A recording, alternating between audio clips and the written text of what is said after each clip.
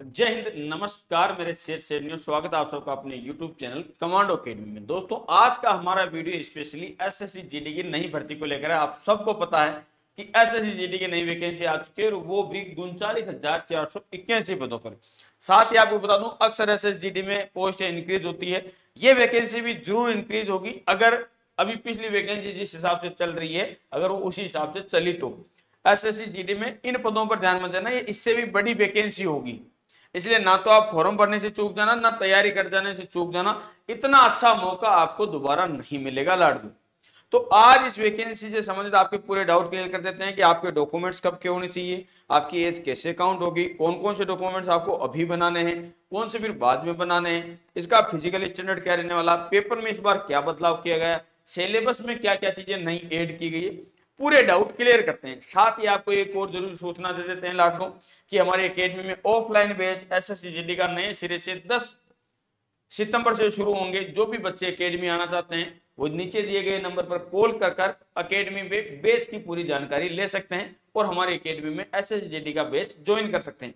क्योंकि पिछले रिज़ल्ट आप सबने अब तक देख लिए होंगे हमारे। हर बार एस एस में ऑफलाइन में कोई हमारे आसपास भी नहीं है। इस बार भी लगभग सैतीस बच्चे एस एस का रिज़ल्ट जारी कर देती तो अब तक हम खड़ा कर देते, आपको दिखा देते। लेकिन अभी रिज़ल्ट लेट है, लेकिन फिर भी सैतीस से चालीस बच्चे इस बार अभी तक पास है हमारे, जो कि इतनी हाई कट ऑफ़ जाने के बावजूद भी। तो आप भी ज्वाइन कर सकते हैं। चलिए भाई लाड लो अब करते हैं हम शुरुआत कि इस वैकेंसी में क्या क्या रहने वाला। साथ ही नोटिफिकेशन एक बार मैं आपको पूरी बता रहा हूँ, इसको देखना बहुत ज़रूरी है, ध्यान रखना। कई बार बच्चे गलती करते हैं फॉर्म में अप्लाई वैसे शुरू हो गया लेकिन आप दो चार दिन का समय अभी रहने दीजिए, ना भरें। आपको दो चार दिन बाद में फॉर्म भरने का एक पूरा वीडियो डिटेल में एक दो दिनों में लाऊँगा, उसके बाद भरें। ठीक है लाड लो आपको अगर अपने जीवन की चिंता है तो बाकी आपकी मर्ज़ी है, स्वतंत्र है आप। लाड लो सबसे पहले हम बात करें, जो फॉर्म आपके अप्लाई लिंक जो शुरू हुआ है, यानी कितनी तारीख से आपके फॉर्म भरे जाएँगे, आप सबको होता है पाँच नौ से शुरू हो गया, यानी आज से आप फॉर्म भर सकते हैं, जो कि चौदह दस तक चलेगा। ठीक है? चौदह दस तक ये फॉर्म आपके चलेंगे। एग्ज़ाम की जो डेट है, वो जनवरी, फरवरी है। ध्यान रखना, जनवरी, फरवरी का मतलब है, इसके एग्ज़ाम जनवरी के एंड वीक में शुरू होंगे और फरवरी पूरे महीने में इसके एग्ज़ाम चलेंगे। इस हिसाब से रहेंगे मतलब 20 तारीख के बाद में ये जनवरी में शुरू होंगे एग्ज़ाम इसीलिए जनवरी, फरवरी लिखा हुआ है। आपके पास में समय देखिए। सितंबर, अक्टूबर, नवंबर, दिसंबर और जनवरी। लगभग साढ़े चार पाँच महीने का समय इससे बेटर मौका हो नहीं सकता पढ़ने वाले विद्यार्थियों के पास। यानी साठ दिन में से का एक बार में कोर्स होता है। आप ये कोर्स तब तक दो बार करके फिर एक बार रिवीजन कर चुके होंगे। साथ ही आपको एक चीज़ और बता दूँ, हमारी एस एस ओल्ड पेपर वाली जो बुक है, ये वाली, ये भी आपको अगले दो दिन के अंदर फ्लिपकार्ट और अमेजन पर अवेलेबल हो जाएगी और आप इस बुक को ले सकते हैं लाड ठीक है, वहीं से। अब आगे चलते हैं, जो पदों की बात कर लें, किस वैकेंसी क्योंकि पदों की इसलिए बात करते हैं, आप में से कई बच्चे इस समय रहते हैं कि सर फ़र्स्ट चॉइस कौन सी देनी चाहिए उनके लिए। टोटल जो पद है वो कितने लाड़ दू? उनचालीस हज़ार चार सौ इक्यासी। अब आप में से कईयों को डाउट रहता है, सर हमको कौन सी फ़र्स्ट चॉइस देनी है? अक्सर बच्चे क्या करते हैं, जिस वैकेंसी में ज़्यादा पद होते हैं, उसको फ़र्स्ट चॉइस देते हैं। तो ये गलती आपको नहीं करनी है।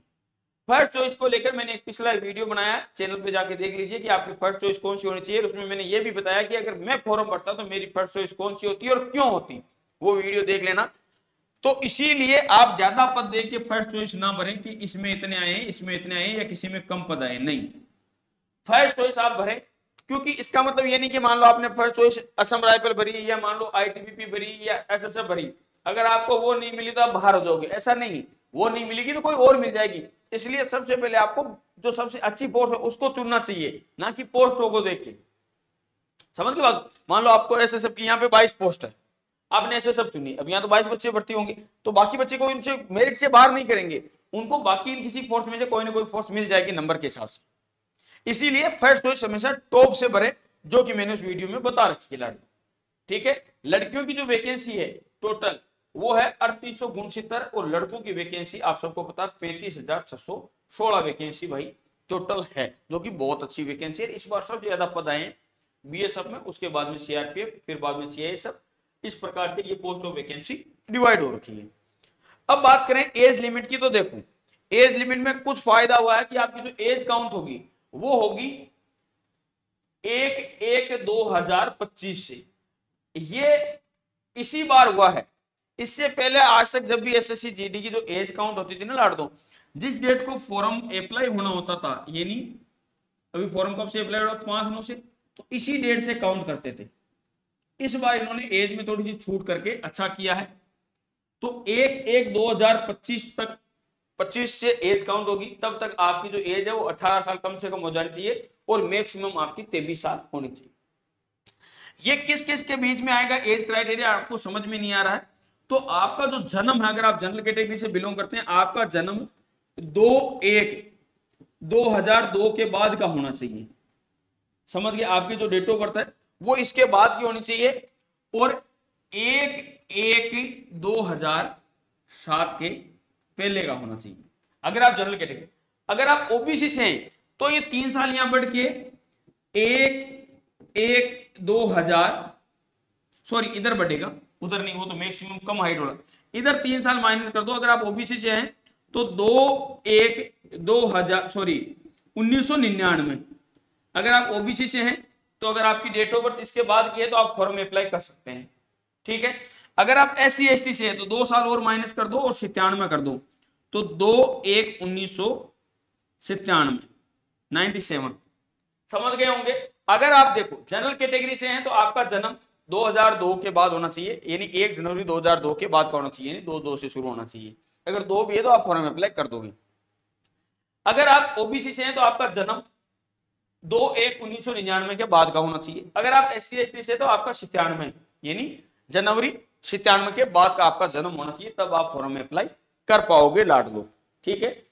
कैटेगरी वाइज जो छूट है, वो मैंने आपको वहाँ पर समझाई दी है, किसको कितनी छूट मिली है। अब है डॉक्यूमेंट्स को लेकर आपको हमेशा बना रहता है, देखो S T S T OBC इनके जो डॉक्यूमेंट्स है, वो किस डेट के पहले के होने चाहिए, ये गलती 90 परसेंट बच्चे करते हैं। इसीलिए उन पे फिर जाँच बैठती है, इसीलिए फिर वो फंसते हैं। अभी भी मैं निमस ट्रेनिंग सेंटर में गया तो वहाँ कई ऐसे बच्चे मिले जिन्होंने बोला, सर, हमारी लेट ज्वाइनिंग हुई, तीन महीने बाद मैंने कहा, क्यों? बोला, सर, हम वो डॉक्यूमेंट्स वाले में फंस गए थे। कैसे? बोला, सर उसमें जो डॉक्यूमेंट नोटिफिकेशन में मांगे थे ना, वो मांगे थे कि इस तारीख से पहले के होने चाहिए? हमारे डॉक्यूमेंट्स उसके बाद के थे, इसलिए हमको ज्वाइनिंग नहीं दी। तो आप ये गलती मत कर देना। आपको फिर ज्वाइनिंग नहीं मिलेगी। आपके डॉक्यूमेंट्स और डॉक्यूमेंट्स में क्या क्या वो भी आगे मैं दिखा दूँगा। लेकिन मुख्य तौर पे मैं आपको यहाँ बता देता हूँ, कौन से डॉक्यूमेंट देखो टेंथ क्लास की जो आपकी मार्कशीट है, वो तो आपके पास में है तो उसको तो कुछ बनाना नहीं है। और ये भी आप एक एक दो हज़ार पच्चीस से पहले की होनी चाहिए, तब तो भी कोई तकलीफ़ नहीं मुख्य जो डॉक्यूमेंट्स है वो है मूल निवास। मूल निवास आपका चौदह दस से पहले का होना चाहिए। मूल निवास का मतलब रेजिडेंशियल सर्टिफिकेट ठीक है? इसके अलावा कास्ट सर्टिफिकेट ये भी सेंट्रल गवर्नमेंट का कब का होना चाहिए लाड़ दो चौदह दस के पहले, चाहे ईडब्ल्यू का है, चाहे ओबीसी का है, चाहे एस सी एस टी किसी का भी है। ठीक है? ये सब कब से पहले होना चाहिए? चौदह से।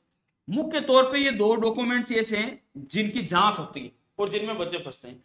तो आप फॉर्म अप्लाई करने से पहले डॉक्यूमेंट्स बनाना और फिर फॉर्म में अप्लाई करना। फॉर्म में अप्लाई करते समय ध्यान रखना, जिला सही भरना, जिसका आपके पास में डोमिशियल है, वही जिला और वही राज्य भरना, गलती मत कर देना। कास्ट सर्टिफिकेट आपके पास में, उससे पहले बना लेना या अप्लाई कर देना, फिर फॉर्म आप अप्लाई करना। ध्यान रखे, गलती ना हो। ठीक है लाडलो समझ में आ गया होगा आपको। अगर इसके बाद डॉक्यूमेंट्स बनाते, फिर मुझे बता, बाद में पूछेंगे, सर, बाद में बना दे या हम अब बना ले, क्या होगा? जाँच का विषय होगा और क्या होगा? आपके लिए तकलीफ़ होगी। इसलिए बनाना तो है, पहले बना लो लाड़ लो एजुकेशन क्या चाहिए? आप सबको पता है कि एस एस की जो भर्ती है, वो किस लेवल पर होती है लाडू टेंथ लेवल पर। यानी टेंथ पास होना चाहिए, कब तक? एक एक दो हज़ार पच्चीस। ठीक है। एनसीसी सर्टिफिकेट के नंबर एनसीसी सर्टिफिकेट के पाँच परसेंट मिलेंगे। बी के तीन परसेंट, ए के दो परसेंट। यहाँ पर गलती कर देते हैं बच्चे अक्सर। उनका सी सर्टिफिकेट चल रहा होता है, कंप्लीट नहीं हुआ, फिर भी सी भरवा देते हैं। वो गलती मत करना। कंप्लीट होना चाहिए आपका जो भी सर्टिफिकेट है। अगर कंप्लीट है, तभी आप वही फॉर्म में अप्लाई करवाए, क्योंकि इसका डॉक्यूमेंट्स भी आपका वहाँ पे मांगेगा और वो भी किससे पहले का होना चाहिए? चौदह दस से पहले का आपका कंप्लीट होना चाहिए। लाड़ दो, ध्यान रखना। चौदह दस से पहले का कंप्लीट होना चाहिए। अब बात कर लेते हैं कि इस बार पेपर में क्या नया ऐड किया गया? कुछ नया ऐड नहीं किया गया पेपर में। सेम बीस बीस क्वेश्चन आएँगे। साठ मिनट का समय रहेगा। 160 नंबर का पेपर होगा। ठीक है? बीस क्वेश्चन रीजनिंग के, बीस मैथ के और बीस जीके के, बीस इंग्लिश और हिंदी के। ठीक है लाडू? अब है सिलेबस। तो सिलेबस में कुछ भी बदलाव नहीं किया गया। सेम सिलेबस रीजनिंग का रखा जो पिछली बार था। सेम जीके का है। सेम सिलेबस आपका मैथ का दिया गया है और हिंदी इंग्लिश का सिलेबस पिछली बार की तरह इस बार भी नहीं दिया गया। केवल बेसिक पूछा गया तो बेसिक में व्याकरण नहीं आती है, ध्यान रखना। केवल मुहावरे, लोकोक्तियाँ पोकोक्तियाँ यही आती है तो इनको आप याद कर लेना। फ़िज़िकल स्टैंडर्ड क्या रहने वाला? पाँच किलोमीटर, चौबीस मिनट का समय लड़कियों के लिए, सोलह सौ मीटर की रनिंग साढ़े आठ मिनट का समय, जो अभी चलता आ रहा वो ही रहा सेम और लद्दाख वालों के लिए अलग अलग दूँगी जो हाइट है 170 सेंटीमीटर चाहिए फीमेल के लिए एक सेंटीमीटर है, जो पहले से चलती आ रही है। एस टी को छूट दी गई जो एस सी के बच्चे एस के सॉरी स्पेशली एस के बच्चों को एक सेंटीमीटर हाइट होनी चाहिए। उनकी लड़कियों की हाइट भी 150 सेंटीमीटर ही है। फिर अलग अलग स्टेट वाइज उनको छूट दी गई है। इसके लिए उनको वहाँ के डॉक्यूमेंट्स भी लगाने पड़ेंगे लाड़। चेस्ट मेज़रमेंट वही है, अस्सी अस्सी से पीछे से आपका होना चाहिए। एसटी कैटेगरी के बच्चों के लिए छिहत्तर किया हुआ है, पाँच सेंटीमीटर का फुलाव ये देखो, यहाँ पर लिखा मेडिकल एग्जामिनेशन और डॉक्यूमेंट्स वेरिफिकेशन तो यहाँ पर जो मैंने बात बताई थी, वो यहाँ पर स्पष्ट की हुई है। डॉक्यूमेंट्स में देखो, ये रहा लिखा हुआ। एक तो टेंथ क्लास का certificate name and education qualification ठीक है examination certificate to prove age यानी जो एज प्रूव करता हो और नाम प्रूव करता हो और एजुकेशन प्रूव करता हो। तो टेंथ क्लास की मार्कशीट होगी। डोमिशियल सर्टिफिकेट यानी जो आपका परम, जो रेजिडेंशियल सर्टिफिकेट है, वो ये लिखा हुआ। तीसरा, अगर आपने एनसीसी भरा है तो वैलिड एनसीसी सी सर्टिफिकेट अगर आप अप्लाई कर रहे हैं तो बी तो B certificate for service defence अगर आप डिफेंस में हैं तो ये आपके काम का नहीं। अंडरटेकिंग फॉर्मेट ये हो गया। इसके अलावा एक और था, वो कहा गया कास्ट सर्टिफिकेट ये रहा। Caste certificate as a principal यानी जिस जो भी आपकी कास्ट है, उसके हिसाब से आपका कास्ट सर्टिफिकेट भी होना चाहिए। और ये सब कब के होने चाहिए? लाड़ दो, चौदह, दस के पहले के होने चाहिए। तीन ही डॉक्यूमेंट्स आए मुख्य रूप से टेंथ क्लास की मार्कशीट वाला पॉइंट ये रहा, आपका डोमिशियल वाला पॉइंट ये रहा, और ये कास्ट सर्टिफिकेट अब एनसी जिनके पास में उनके लिए एक और एड हो जाता है। समझ गए बात को? तो आप अगर मेरी बात को समझ गए हैं तो इस बात को भी समझ लेना लाट दो कि ऐसा अवसर मिलेगा नहीं, गलती ना करें फॉर्म भरते समय। साथ ही एक तो फॉर्म भरते समय गलती ना करें। उसके साथ ही आप ध्यान से फॉर्म भरे ध्यान से पढ़ाई करें, ऐसा अवसर दोबारा नहीं मिलेगा नौकरी का। इतनी अच्छी वैकेंसी है पोस्टें आगे और भी इंक्रीज होगी इसमें। बढ़िया से लगे रहो लाड़ दो रात दिन एक समझ गए बात को? रात दिन एक करके पढ़ाई करो। और अगर इस नोटिफिकेशन आपकी इंग्लिश में समझ में नहीं आ रही, आपने पढ़ी होगी, अगर आपको हिंदी वर्जन इसका पढ़ना है तो हमारी जो वेबसाइट है, रोज़गार वाला, उस पर जाके आप इस नोटिफिकेशन को, पूरे सिलेबस को टोटली हिंदी में भी पढ़ सकते हैं, वहाँ पर लिखा हुआ है एस एस नोटिफिकेशन हिंदी। तो इंग्लिश और हिंदी दोनों वर्जन है, और भी कोई डाउट रहते हैं, वो भी आप वेबसाइट पर चेक कर सकते हैं, रोज़गार वाला डॉट इन सर्च करके। जय हिंद, जय भारत।